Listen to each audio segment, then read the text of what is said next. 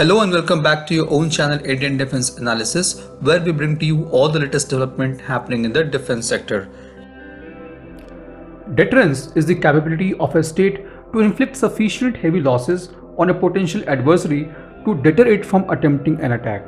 It is a key element of national defense for guaranteeing the protection of one territory. What differentiates a cruise missile from other weapon is their range, enabling them to reach deep in the territory of the adversaries few years back, DRDO has started working on submarine launched cruise missile SLCM. The new SLCM will be launched from the torpedo tubes used in existing Kalvari class submarines and possibly in upcoming submarines under Project 75I. These SLCMs are going to be of two variants. One will be ship attack SLCM and another one will be land attack SLCM. The anti-ship SLCM will be equipped with AESA RF seeker for terminal guidance and land attack version will make use of electro-optical seeker with DSMAC or digital scene matching area correlator technology for terminal guidance.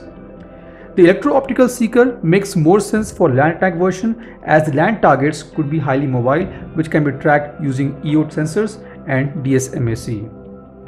Now if we talk about its range, there is no official confirmation on it from DRDO. However, the SLCM will be fired from torpedo tubes used in existing Kalvari class submarines which is a 533 mm torpedo tube. These torpedo tubes can fire both torpedoes and anti-ship missiles.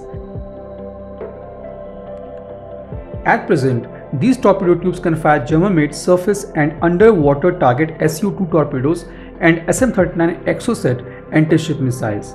The futuristic submarine-launched cruise missile will also be fired from this. The Kalvari class submarine, as we all know, is based on French design Scorpène class. These submarines are designed to carry MBDA's MDCN naval cruise missile, which means the Kalvari class submarine is also capable of firing these missiles.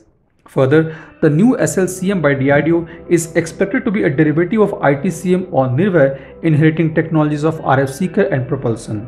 If you closely observe, the ITCM has a length and dimensions similar to MDCN missile.